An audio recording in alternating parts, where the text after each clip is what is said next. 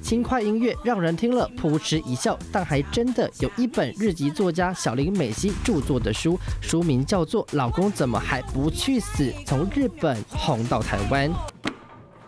整本书两百四十一页，记录着不同婚后女性的心境，获得广大共鸣。你朋友看过这本书？对，有怨气，所以就会去看这一本。可能老公比较。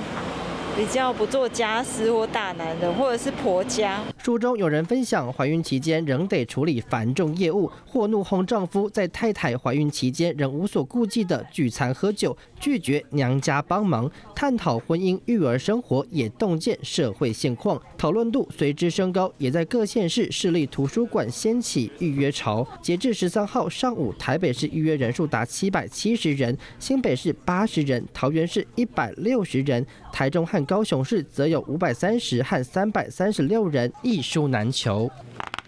却发生插曲，国立阳明交通大学图书馆粉砖小编发出图文分享，校内预约人数只有零人，还说教职员们婚姻关系良好，被网友骂翻，说借书的人不代表婚姻关系不好。或以借数量诠释他人的婚姻关系，并不恰当。一种很委屈、很不满的心态才去借的。然后，如果有其他人以一种比较开心、比较开玩笑的方式去讲的话，其实那些人多多少少心里面就有点不平衡啊。他也不没有那个性别的观念，他也很戏谑。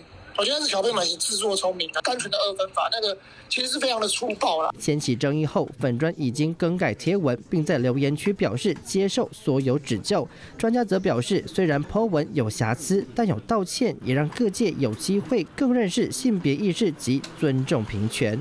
华视新闻曹无生、邱荣庆台北采访报道。